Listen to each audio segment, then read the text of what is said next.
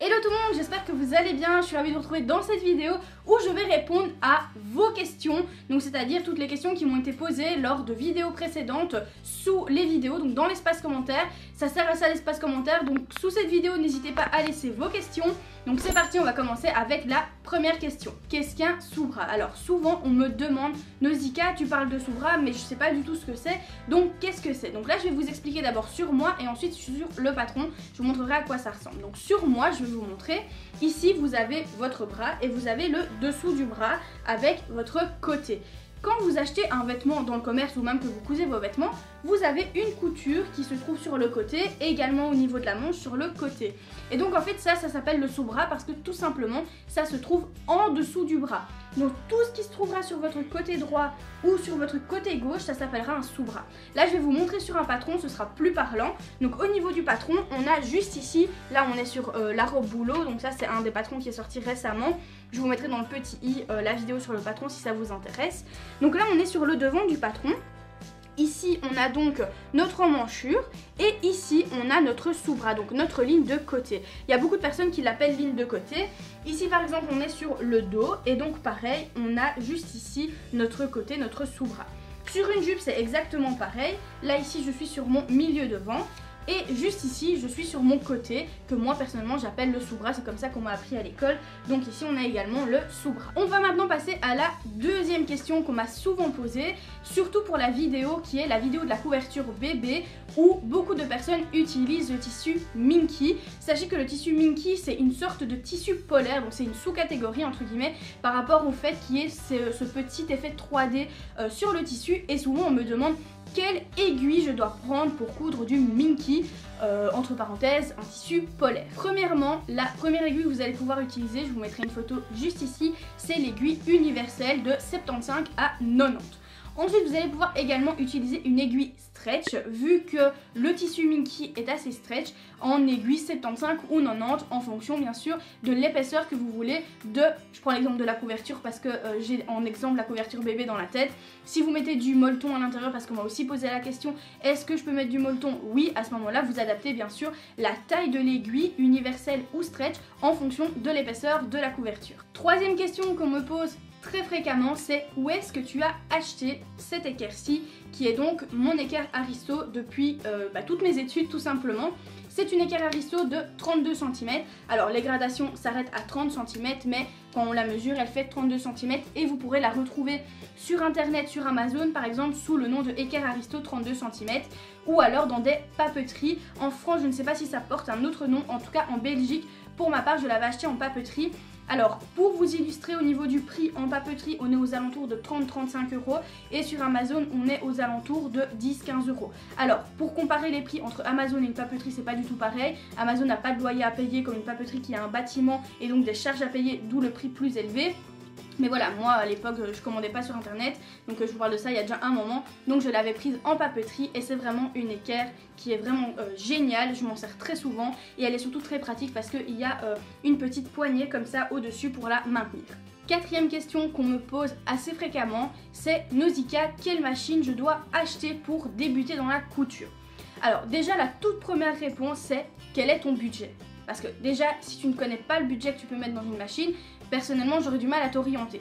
Donc ici, je vais répondre avec 4 machines à coudre en fonction de différents budgets. Donc d'un budget qui va de 80 euros euh, à 500 euros. Comme ça, au moins, vous aurez, on va dire entre guillemets, une large gamme. Et j'ai pris mécanique et électronique au moins ça permet tout simplement d'avoir différentes machines et donc différents budgets. La première machine donc pour commencer à 80 euros ou alors à 90 euros, pour les Français 90 si je dis pas de bêtises. On a celle de chez Lidl. Vous la connaissez, c'est celle que j'utilise assez euh, souvent, assez fréquemment euh, pour vous montrer différents tutos, etc. Pourquoi? Parce que c'est une machine qui est vraiment très très abordable, une entrée de gamme certes, elle est mécanique, pas électronique. Mais pour ma part, je trouve que pour son prix, elle fait absolument euh, très bien le travail. Alors, elle va pas vous passer des épaisseurs de dingue, hein, on s'entend bien. Vous n'allez pas pouvoir coudre 4 épaisseurs de jeans sur cette machine mais euh, elle fera très bien l'affaire, en tout cas pour vous entraîner, faire quelques réalisations, même réaliser certains vêtements sans aucun souci. Ensuite, on a la machine Brother FS40, machine dont j'entends très souvent parler sur la communauté Enjoy Couture, groupe qui se trouve sur Facebook. D'ailleurs, n'hésitez pas à venir nous rejoindre si le cœur vous en dit. Je vous mettrai euh, le lien tout simplement en dessous de la vidéo dans la description. Alors, la Brother FS40, c'est une machine que j'entends J'entends vraiment très souvent parler de celle-là. J'entends aussi beaucoup de bien sur cette machine, donc je me suis dit que ça pouvait être sympa aussi de vous l'intégrer dans euh, bah, justement différentes machines pour différents budgets. Donc ici, on est plutôt sur une machine donc, qui est électronique, on va dire semi-électronique. Quoique elle est quand même électronique, elle fait quand même la boutonnière automatique, etc. en filage automatique. Donc c'est déjà pas mal pour un prix allant de 230 à 290 euros. Les Français, corrigez-moi pour le prix, désolé, mais moi je suis belge, donc pour le prix, pour les chiffres, je vais le dire à la belge, donc entre 230 et 290 euros. Donc de nouveau, on reste toujours dans un budget relativement raisonnable pour une machine à coudre. Donc voilà, ça c'est pour la Brother FS40. Ensuite, on a la Singer ou Singer. On m'a déjà dit comment il fallait dire, mais je vous avoue que j'ai complètement oublié. Donc dites-moi dans les commentaires comment vous dites Singer ou Singer, je ne sais jamais. Starlet 6699, qui celle-là est au prix de 390 euros, si je dis pas de bêtises, 350 euros. Je regarde ma petite sèche parce que j'avais mis les prix, mais j'ai pas envie de me tromper. On est plus ou moins aux alentours de 350 euros en fonction des magasins, en fonction des différents sites. Bien entendu, le prix peut varier. Ici, je vous donne aussi des prix hors livraison, donc euh, c'est possible que certains sites vous donnent également de la livraison à payer quand vous passez commande. Donc là, c'est vraiment le prix de la machine. Donc cette machine-là, la Starlet 6699, est également une machine électronique avec enfilage électronique euh, automatique, euh, également boutonnière automatique qui est également très très bien aussi pour débuter. Là on passe déjà un autre cap au niveau budget, on dépasse les 300 euros. Mais bon voilà, encore une fois, c'est vraiment en fonction du budget. N'hésitez pas à commencer par une petite machine et puis après, si vous vous sentez vraiment apte à passer sur une machine plus élevée, d'y mettre le prix. Et on va terminer ici avec la PFAF Passport 2.0. Alors celle-ci, elle est au prix aux alentours de 490-500 euros.